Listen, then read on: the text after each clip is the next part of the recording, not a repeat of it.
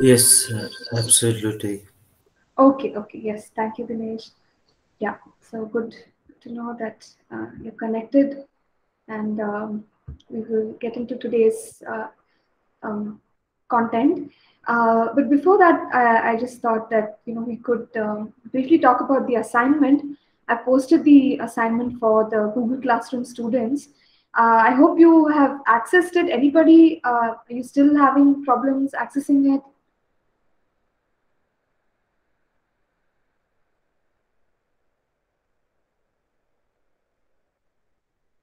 Okay, uh, so no one so far has issues, but if you do, please post it on the stream page.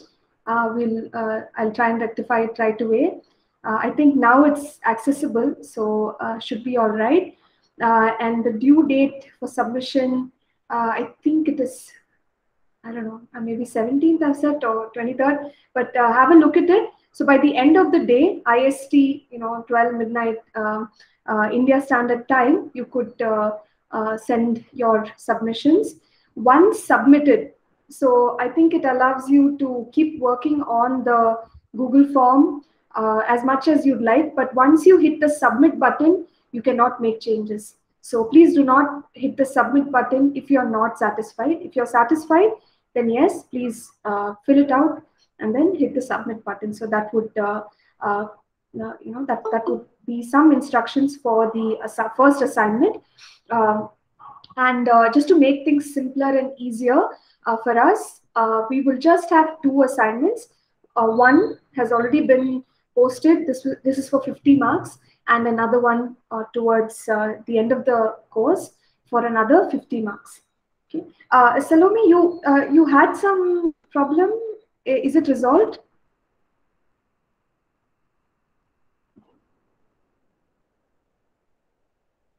Okay. Uh, do let me know, Salome. Maybe, okay, it's resolved. Okay, great, great. Because I saw your message. Okay, submitted. Wonderful. Okay, excellent. Okay, so let's uh, uh, pray and we will uh, get started. I would like to request uh, anyone from our class to please lead us in a word of prayer, please. Harrison, would you be willing to pray? Yes. Yeah, yes, please go ahead. Heavenly Father, we thank you and we bless your name. We give you all the praise and we give you all the glory. Thank you for another opportunity. Thank you for another day to study your word. And I thank you for all my fellow students and I thank you for Pastor. I thank you, Holy Spirit, that you open our, our ears and our mind to receive what the Lord has had for us today. I pray, Father, that at the end of this session, that we'll have more reason, O God, to serve you better. Holy Spirit divine, teach us, reveal Jesus to us as we study his word. In Jesus' name I pray. Amen. Amen. Thank you. Thank you, Harrison. Yes, so um, with that, we'll get into our lesson. And we've been talking about building people by the Spirit. So uh, we basically talked about the fact that in the kingdom of God, we invest in the lives of others. Um, and we were looking at some of the practical ways in which we uh, must invest in people's lives. You know, the uh, fact that we must understand their destiny, position them uh, in the manner that God wants them uh, to be positioned.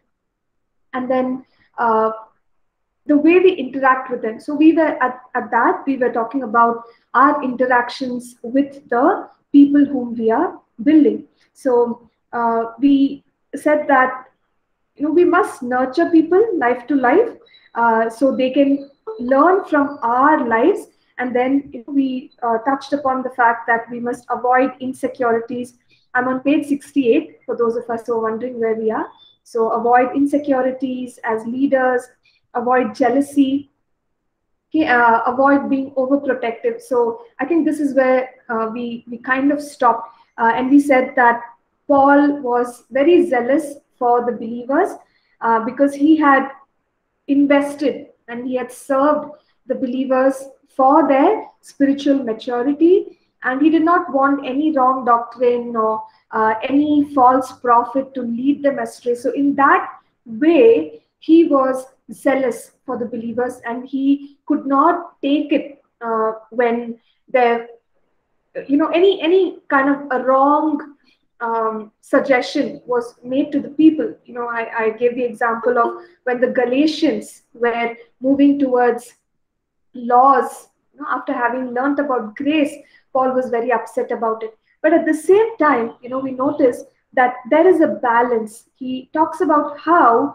uh, we don't have dominion over the faith of the people so the faith which people carry, it's their own. You know, we are here to teach, we are here to present the word of God, we are here to um, suggest to them you know, when they need to make decisions. But at the end of the day, they are the ones exercising their own faith they get to uh, make their journey of growth. So uh, we should not be overprotective or controlling of people.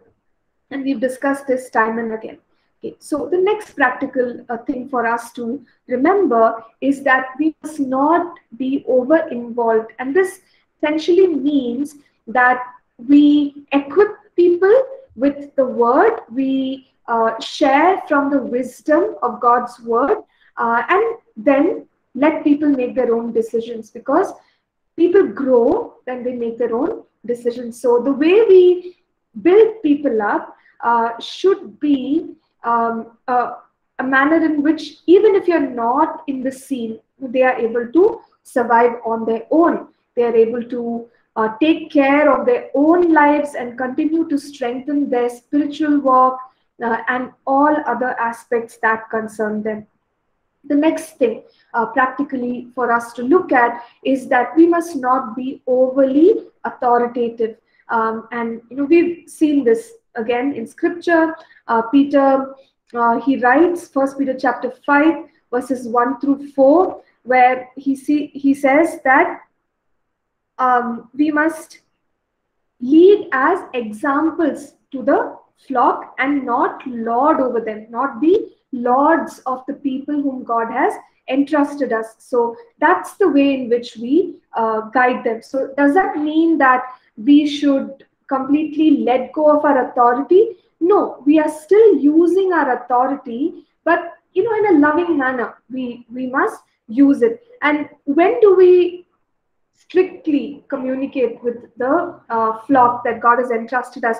We'll come to a section where we look at that uh, in detail. There are times when we have to bring correction, and that might not be, uh, uh you know, something that people will receive easily and yet a leader is called to do things like that so um, authority at times can come forth in a strong and a strict way uh, but there is a time and a place to do that but in general even though we carry authority the manner in which we uh, lead the people must be one that is loving uh, and we must not lord over the people now Moving forward, another practical thing for us to bear in mind is to avoid emotional attachments. Now, uh, it's true that you know you can't serve uh, someone or you can't mentor people without having some level of uh, you know emotional uh, engagement. You want them to do well.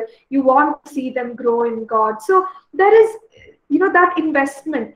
But there is always a boundary which we must maintain. Overly um, involving emotionally or attaching oneself emotionally to those who uh, those who are growing uh, in our care, it can be counterproductive because you know the way God leads people is that after several seasons, you know, God may want to uh, send this person somewhere else. So at that point, if we are very emotionally attached to the people, uh, we we will find it difficult to let them go. Uh, so one example which is given here in our notes is the friendship of David and Jonathan. Uh, it was a very special friendship, but when it came time uh, to send David away, Jonathan was willing to do it. So uh, we should be careful about emotional boundaries. Then bringing correction when required. So this is what you know I'm talking about uh, in terms of authority. There is a place to correct people as well. Um, in First Corinthians chapter four, verse twenty-nine, you know the the kind of language which Paul uses, it's it's very sharp. Uh, he says, "What do you want?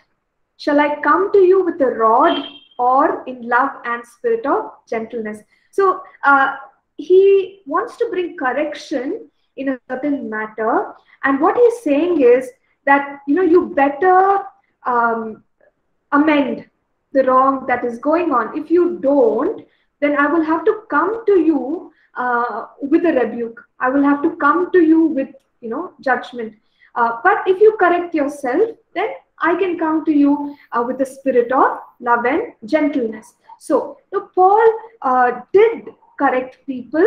He did, um, uh, you know, take responsibility whenever there there is a situation where one needs to um, uh, speak the truth in love. So we we see you know several instances of uh, Paul uh, speaking this way. There's another passage, First Corinthians seven verses 11 through 12. Uh, I think it'll be good if one of us can read it. This is on page 71 kingdom builders. First Corinthians 7, verses 11 through 12, please. Anyone? Please read this. Can I read, Pastor? Ah, uh, yes, yes, please. Yes, Christopher. Uh, 1 Corinthians 7, 11, 12. For observe this very thing that you sorrowed in a godly manner. What diligence is produced, what diligence it produced in you, what clearing of yourselves, what indignation, what fear, what vehement desire, what zeal, what vindication. In all things you prove yourself to be clear in this matter. Therefore, although I wrote to you, I did not do it for the sake of him who had done the wrong, nor for the sake of him who suffered wrong, but that our, care for you in the sight of God might appear to you.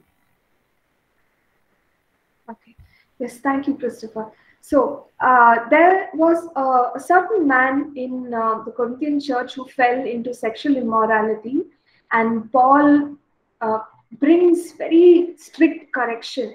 Okay. Uh, against this person to the extent that he kind of says he tells them like you put this person away till he's willing to uh, uh, amend his ways so he's just saying that look i had to do this for the sake of not just that individual or the individual whom who got wronged in the process but this is for everybody i had to bring correction and that was the right thing to do so uh, even paul understood that he must not withhold correction now whenever it comes to uh, correction uh, you know, it's it's a very difficult thing for anyone, and particularly for people who are leading. Uh, most people would want to avoid you know confrontation. Most people would want to keep uh, the relationship such that you know they push certain things under the carpet and just continue. Uh, you let's focus on on the easy uh, things. Let's focus on the matters where the mentee is doing well or the church is doing well. Uh, but when it comes to things of correction, okay, hopefully the person will mature on their own and we don't really have to deal with. So a lot of people try to avoid confrontation and it's understandable. However, this risk is important for us to take. We must bring correction. Proverbs 27 verse 6, it says, Faithful are the wounds of a friend, but the kisses of an enemy are deceitful. So that shows us that though correction is hard to bring and very, very hard to receive, uh, correction will do good to an individual. Now, correction, of course, can be brought in a loving manner. Uh, and when we do it, what happens is we are helping that person resolve an issue in their character, in their lifestyle, uh, and in the long term, you know it, it will prevent them from making huge mistakes or you know kind of uh, it could even prevent them from destroying their own lives right? So uh, it's doing good to an individual at the end of the day. So no matter how hard and difficult it is uh, we must take the courage. We must take the risk of bringing correction but bring it in a loving manner. And sometimes what happens is uh, when we come to know something right we cannot delay the correction because if we delay the correction then you know damage is already done. So when you come to know that something is going on and this individual or this this group uh, needs to hear the truth from god's word and they must stop what they're doing we have to kind of jump in almost immediately and get it sorted. Otherwise you know things like i'll just give you an example. Suppose you know somebody's spreading gossip uh, about other believers and you're working with this person and you know that they are they're things like this then you must immediately call up call uh, upon them and say hey can we can we have a discussion? What's going on? This is what i heard. Could you please explain yourself? And if uh, at all. You know we find something wrong there we must uh, uh, you know instruct them from god's word and say look this is not right. You must stop doing it right away. Uh, you need to apologize to x y and z. Because if we don't do it then what happens? Something like gossip it'll spread. And before you know it you know it's it's spread through uh, three-fourths of the congregation and it's damaging people. Because of one individual who's engaging in things like this. So when we come to know that something is wrong, sometimes we have we cannot even wait. Like you can't even wait overnight. You have to kind of jump in right away and bring correction to the individual. So don't delay in bringing correction. Yeah. So once uh, we bring correction, we must allow the individual to respond in a manner um, you know, give them the liberty to respond however they they um, are processing this correction. Now, obviously, uh, you know, we do our best to communicate in the gentlest possible manner.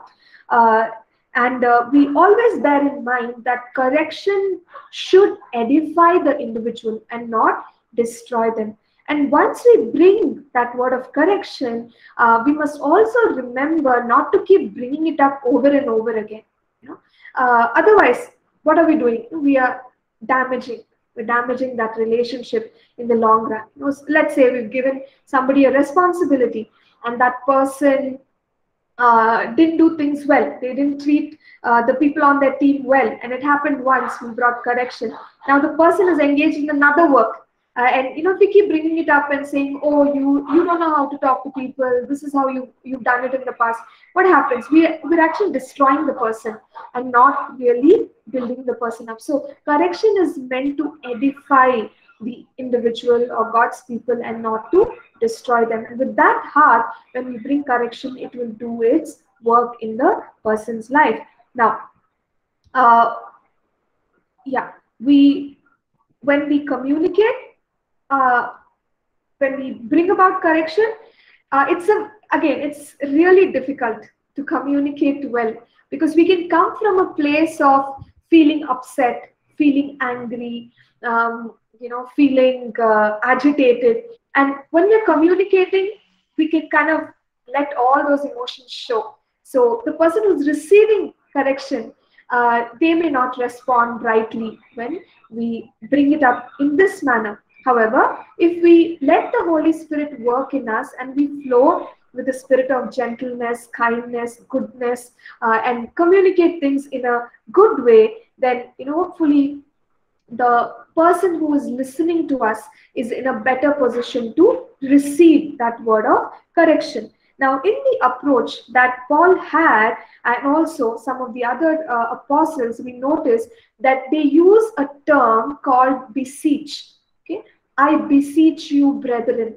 Now, in comparison to a term such as command, beseech is used, you know, way, uh, uh, you know, many, it's used several times comparatively. So, in fact, there are 24 references for the word beseech And I think for the word command, don't have the number here, but uh, it's, uh, you know, fewer, um, very few times where the word command is used. So what does this term beseech mean? So beseech means to call someone near, to exhort them. Okay, exhort uh, means encourage them, to entreat them, to invite them. So I beseech you, brethren, you know, like uh, I'm inviting you to look at this situation and, and let you know that it's not good for you. And so, you know, make a change uh, in the uh, current scenario. So that's how we invite people in a gentle way, even for correction. Uh, however, command comes across in a stronger way, where we say things like, you know, I command you. and uh, uh, Paul did instruct, you know, uh, people like Timothy. He told them there are times when we must command and teach. Uh, first Timothy 4:11, he tells them, uh, command and teach. Okay, so command is to kind of just put it out there and say this is it you have to do it. it it's like the great commission you don't we don't try to change it we receive it as it has been spoken. So there were times when paul and the other leaders they commanded people. Uh, uh, and you know you, we find uh, passages where paul says i charge you i charge you brethren.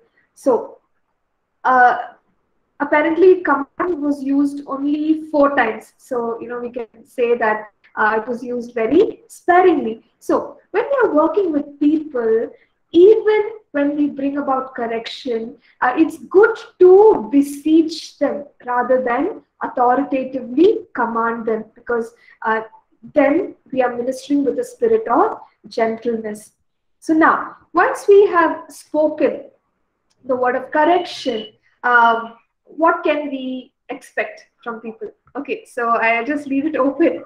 Uh, maybe uh, we can get some responses. When we bring correction, or some of you I know uh, you are serving as elders, leaders, uh, what kind of responses do you see?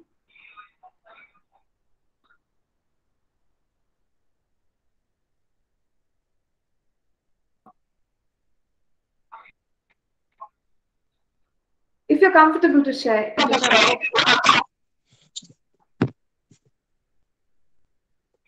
Uh, yes, sir.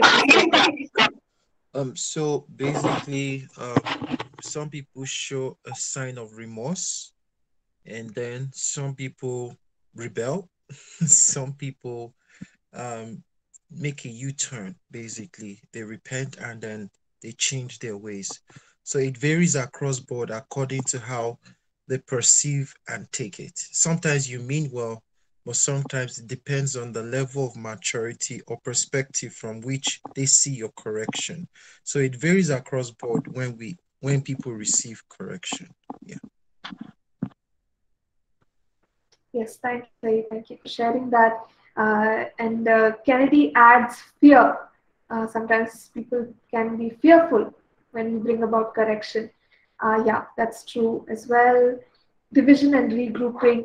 Okay, fine. So they uh, might want to, uh, you know, whatever, create some form of division in the church. So uh, these are these are mostly what we have listed is negative responses and in fact say you completed my next section i'm wondering if i should even teach so uh, yeah those are all the forms of uh, responses that we get, we could either get a mature response. A mature response is one where individual is willing to uh, consider what has been spoken. Uh, the person is willing to look at their own lives uh, and you know kind of assess that and see okay where did I make a mistake? Why is pastor telling me this or why is my my uh, team leader telling me this? Uh, fine, let me see how I can change right? So that would be a mature response.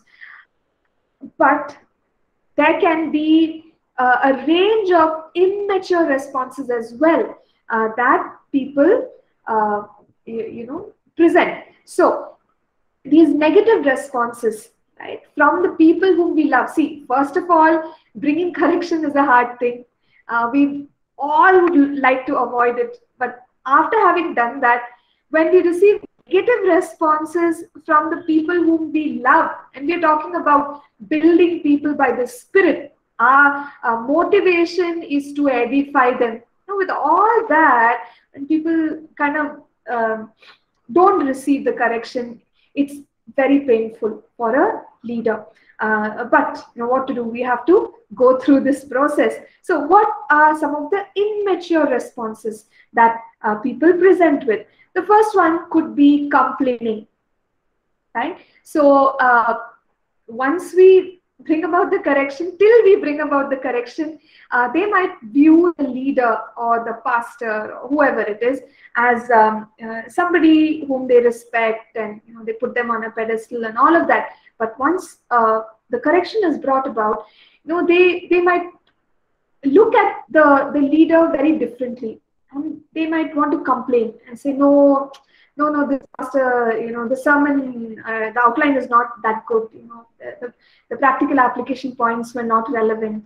Like suddenly, uh, there'll be a completely different way of looking at things, right? Maybe the church looked bright and wonderful every Sunday as they walked in, but suddenly they start noticing, oh, the paint is not, um, you know, kind of uh, good enough. They chose the wrong paint for the wall. All kinds of things uh, start seeming wrong for the individual. And they may also start questioning some of the decisions that the leader has made in the past and just be complaining you know resurrect uh, smaller uh, issues and make them big issues. So the thing is they're feeling hurt and they don't know how to uh, resolve the matter. So one of the ways in which uh, they are showing their hurt is by complaining against the person who brought the correction. And the, the thing is, they're perceiving that the correction was brought to put them down, which is not true. Uh, but, you know, that is the perception of the individual. So that is one way. People can start complaining about us. The second thing is withdrawal. Okay? Withdrawal means uh, they don't connect as much um, in terms of you know, communication or uh, attending programs. Maybe somebody was showing up for every church program, but now that you uh, talked about uh, an issue that they must uh, correct in themselves, they don't show up, okay, or they come really late. And they've kind of gone into a shell. And every time you're interacting with this individual, you feel like you're walking on eggshells. You know, I don't want to uh, kind of uh, you know create any any discomfort i don't want to hurt the person so i have to be very careful in what i say how i even look at them if i uh, you know I, I, should not miss shaking hands with this person what if they feel bad if they feel more hurt so basically you know you're very careful about the way you're interacting with this person because they are beginning to withdraw uh, from you and also spiritually right when uh, we are continuing to invest in their life spiritually, they may not be in a position to receive. They have their guards up, they have their walls up, and they're like, okay, I don't want to listen to this person anymore. So withdrawal can happen. Uh, the third form of uh, immature response is retaliation.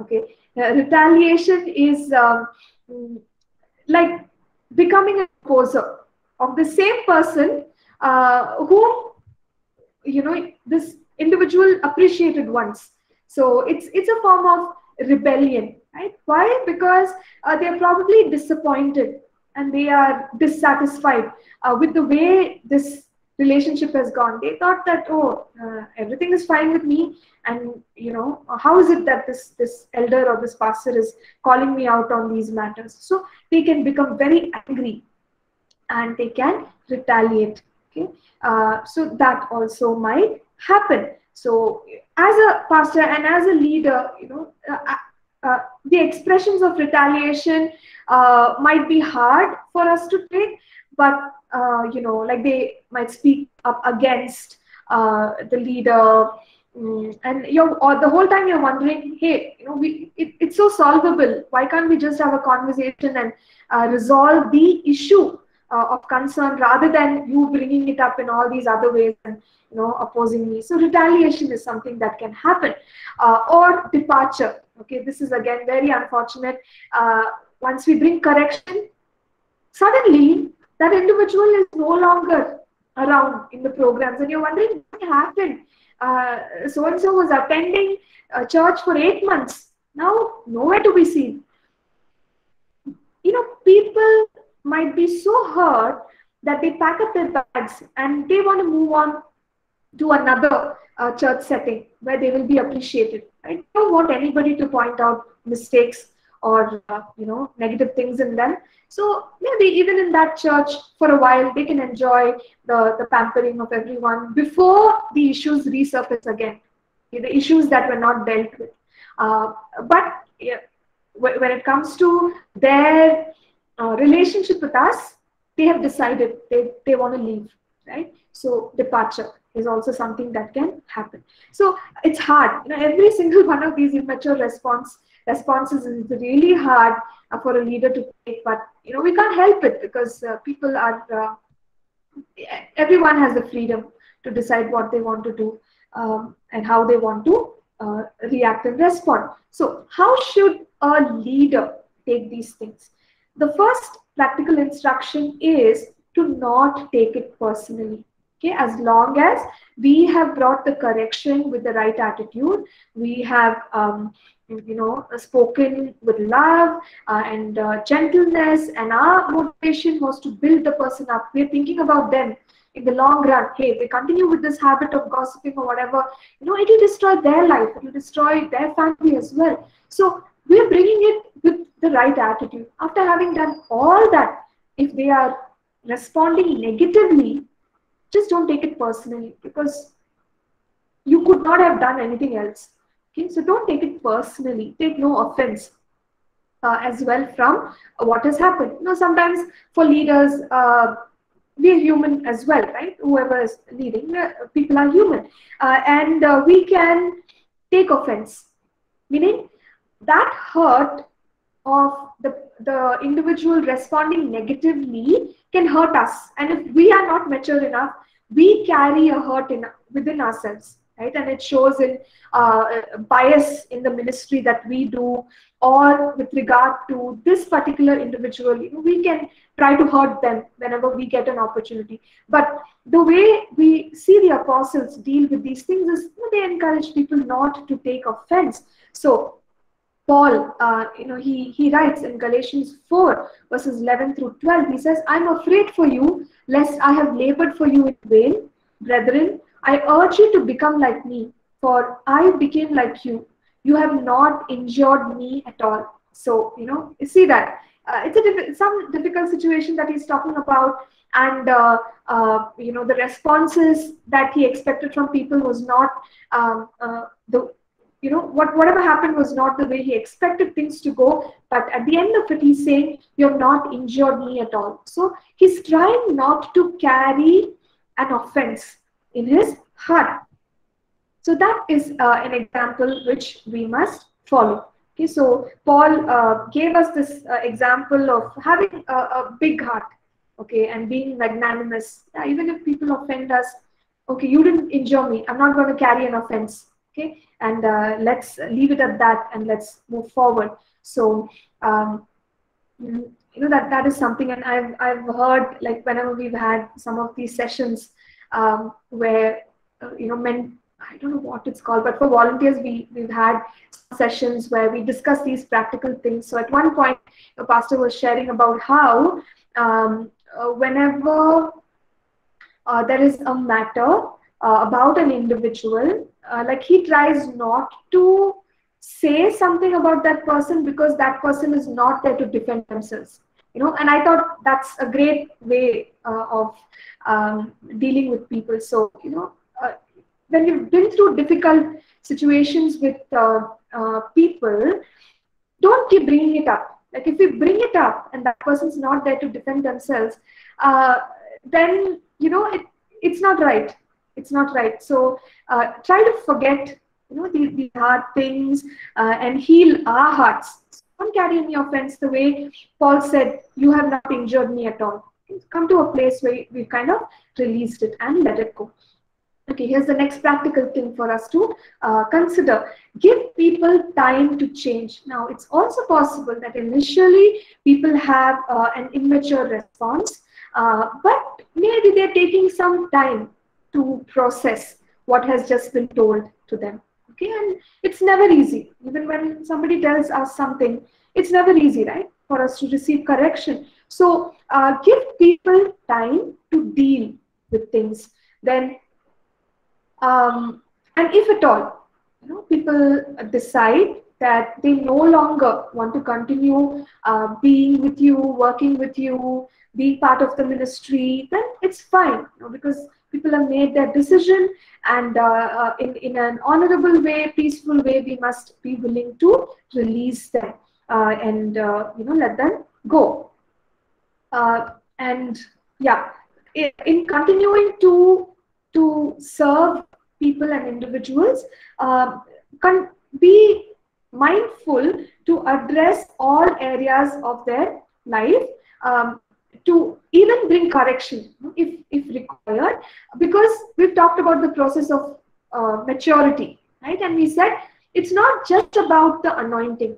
Anointing is important but the wine skin the character is very very important. The maturity of individuals is crucial. So uh, as pastors leaders elders we must address matters uh, you know beyond beyond ministry so things like how they're managing their time and money maybe you want to give them some advice uh, which will help them in the long run or how they're balancing their work how they're taking care of their health.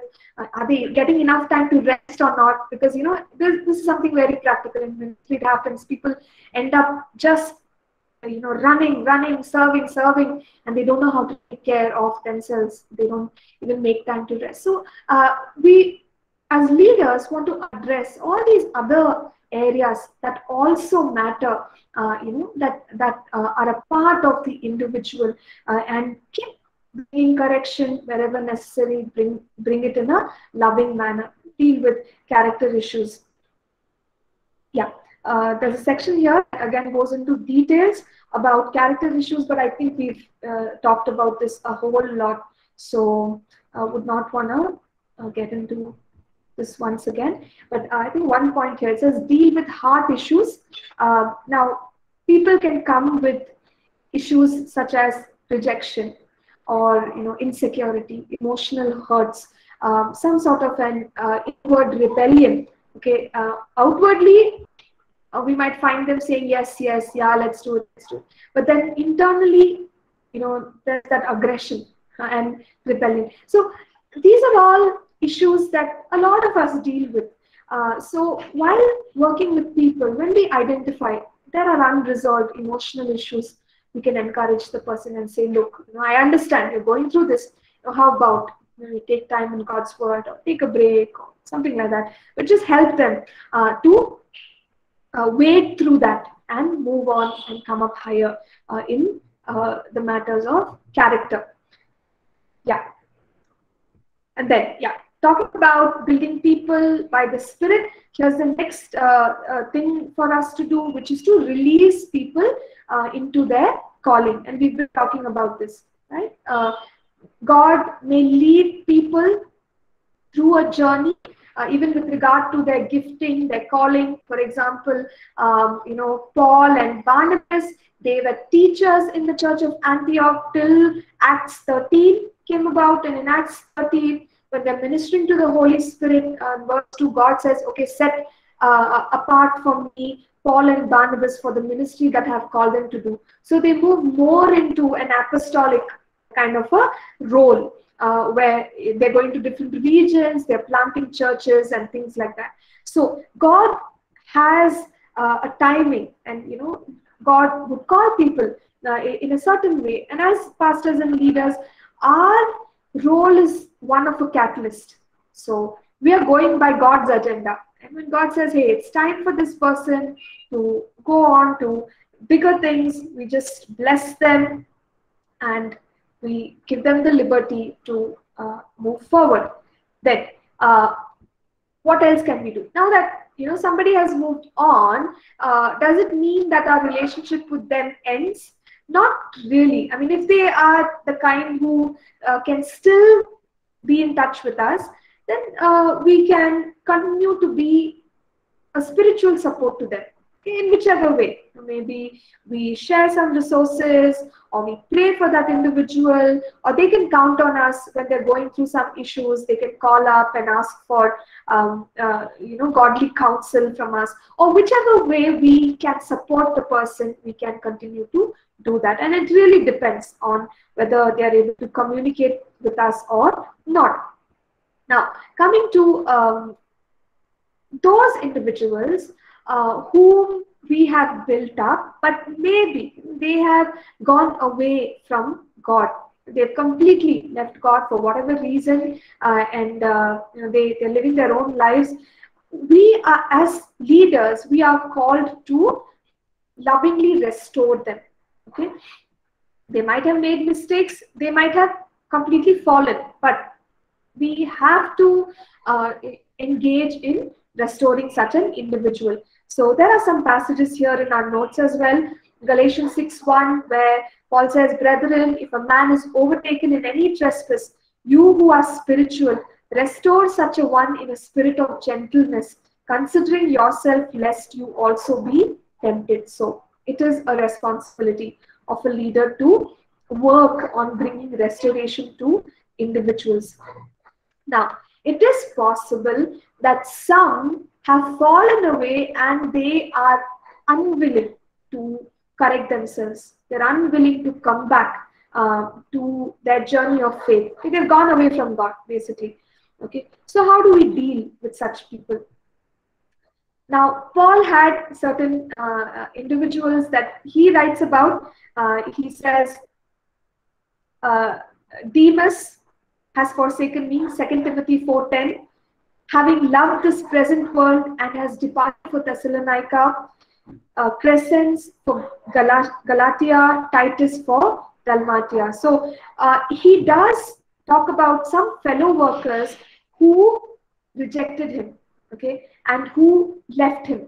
So there were people that he too encountered, uh, and he talks about certain other individuals who shipwrecked their faith. Um, and it's kind of uh, it's not new it's not new even in the case of jesus you know you had a judas who went away from the teachings of jesus and he made a shipwreck of his faith and he completely you know dissociated himself uh, with jesus and the ministry and everything. But his end was uh, a very difficult end. And what else did he do? He opposed the ministry that god had for uh, Jesus. So, in the same way, it's possible that there are people who can, who are a part of uh, the journey, but at some point, because of the offense that they're carrying in their hearts, they can become our opposition as well. So, uh, we do our best to restore them back, but if they don't come back, then you know what we see people like Paul and all do is to kind of just let them be right? Let them be. So Paul talks about another person, Alexander. He writes to Timothy and he says, Alexander the coppersmith did me much harm. May the Lord repay him according to his works. You also must beware of him, for he has greatly resisted our words. So uh, Paul goes from a place of restoring such an individual to uh, letting the people know. So he's come to a place where now he has to talk about this rebellious individual to warn others. Okay, uh, so it's unfortunate, but uh, if, if somebody has fallen away and they're unwilling to come back, uh, unwilling to make restitution, then uh, you know there's nothing much that can be done. So that's about correcting people, which is very much a part of building people by the Spirit. So at this point, you know, I'm just gonna uh, give us some time if you have questions or um, you know, some kind of comments from your own experience if you've been through uh, equipping people in this manner then yeah feel free you can share with us we can all learn from it so i'll just leave this time open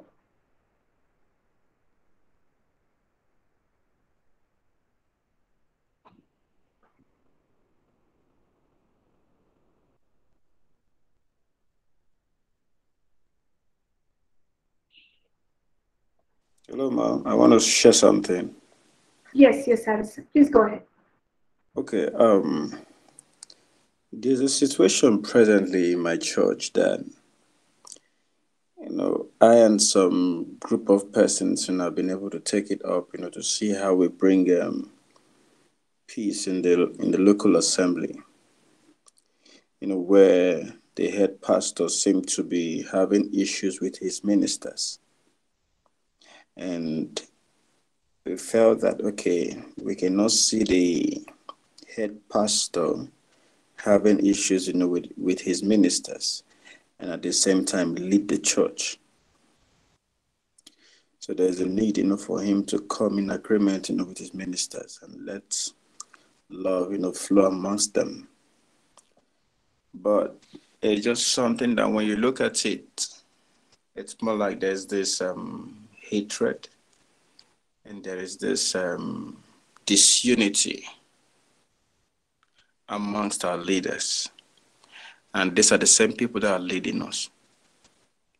And we kind of confronted him on um, this last Sunday, you know, for us to be able to get, you know, a better view or a better understanding of what is going on amongst the ministers.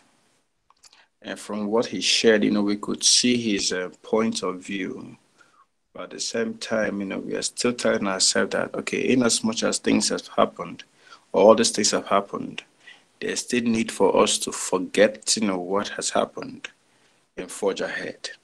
And just like you said, you know, there are some things, you know, you don't take to heart, no matter what it is, you just let go and keep moving.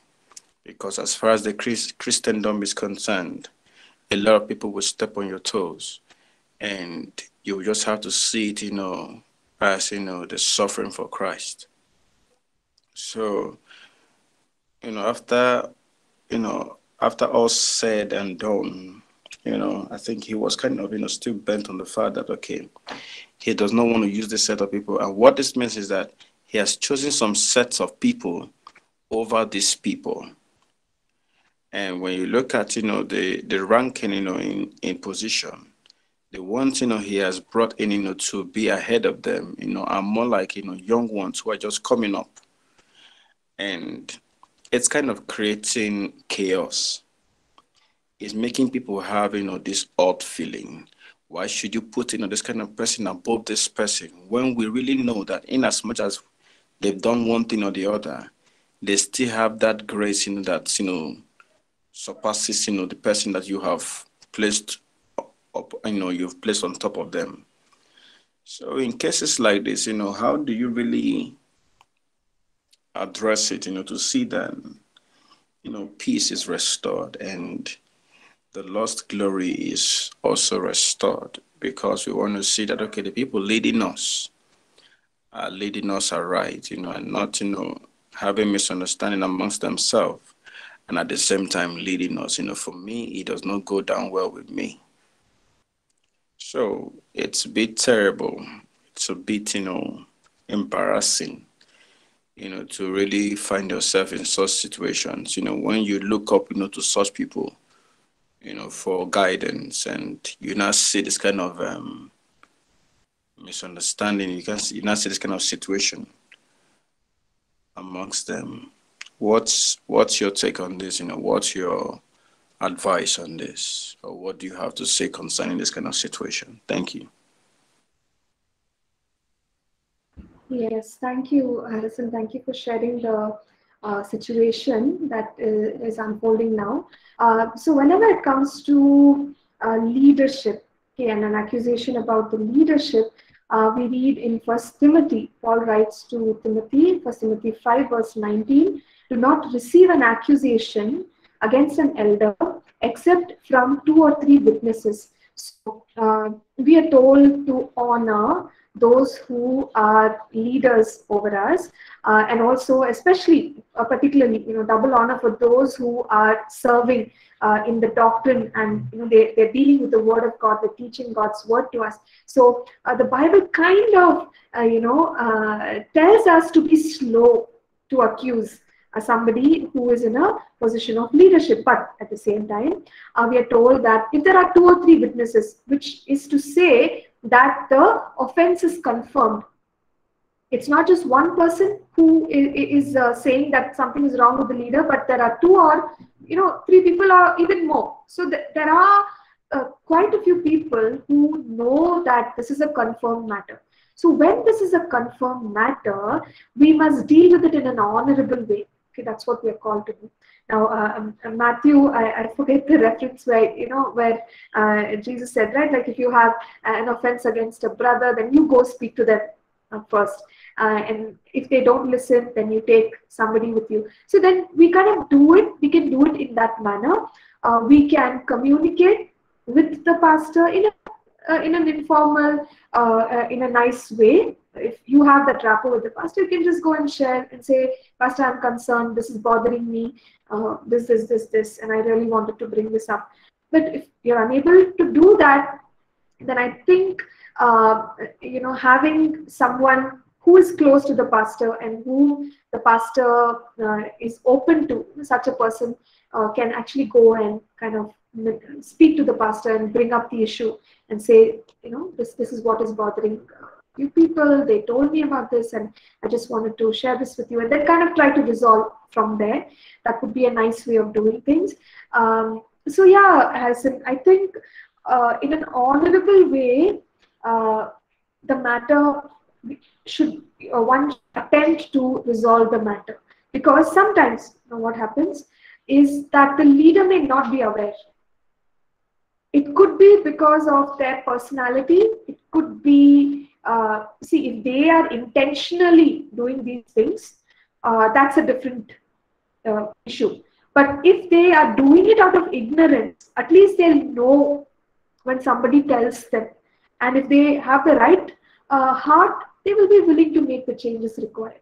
So attempt to uh, bring across this matter to the leader in a uh, good way is what i would say okay so uh, does that make sense? Yeah, it does make sense. You know, that's um, that's what you know. I kind of said, you know, when I was talking about this situation because we met him uh, last Sunday mm. to tell him, you know, what's going on, what's bothering us, mm. and a lot of things, you know, were discussed. Mm. But he was like, okay, in as much as all these things has happened, and you know he he'll he'll want to like you know set things you know right. He does not want to deal with you know this set of people or give them you know a position that he's giving to some sets of people right now. So he's saying that okay he does not have any problem with them but he'll still want to see how they don't get you know the kinds of role you know that they they were playing before mm. So it's more like, you know, he's demoting them mm-hmm. and bringing up, you know, a new set of people. And when I look at this set of people, they are very young and fresh in ministry. And why the ones that have been demoted, you know, have been have been in ministry almost all their lives. And we're not talking about kids, you know, we're talking about some are elders and some are adults, you know, with family and children. And when I look at the whole thing, you know, it's just a bit difficult, you know, for me to weigh and, you know, balance the situation. And that's why I'm kind of, you know, skeptical about his decision, you know, on bringing this, you know, new sets of people. And when you look at the new sets of people now, people are not really conforming to the style, you know, they come up in ministry. And because you know when you see someone that is just starting in ministry, you cannot compare it, you know, to someone that has been in ministry for a very long time. So what they do, you know, to you that have been in the ministry for a very long time could be a childish thing. So that's just you know the case right now, and that's why I'm like you know trying to throw it up and see how one can really come up, you know, with a strategy you know, to really combat this um, situation? Yeah, sure, sure, Harrison. So, uh, yeah, I think it would be good to try to understand why the pastor has done that and present, you know, your side of uh, uh, your concern.